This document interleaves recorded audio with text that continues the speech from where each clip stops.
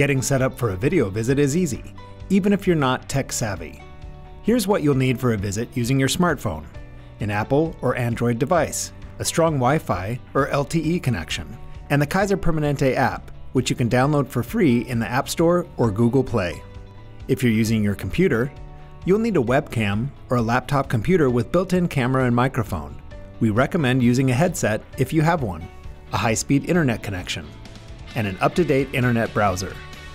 Now you're ready to start your video visit. Here's how to join using your phone or tablet.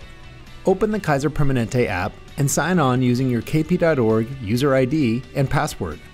Remember, you can get the app for free at the App Store or Google Play. Go to Appointments and tap Join Now to start your video visit. If you're using a computer, you'll receive a confirmation email with the date and time of your appointment. Click the link in your confirmation email. Sign on using your kp.org user ID and password. Click Join Appointment to start your visit. If you have any problems, we're here to help.